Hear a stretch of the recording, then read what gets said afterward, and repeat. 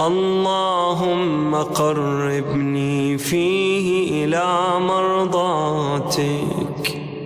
وجنبني فيه من سخطك ونقماتك ووفقني فيه لقراءة آياتك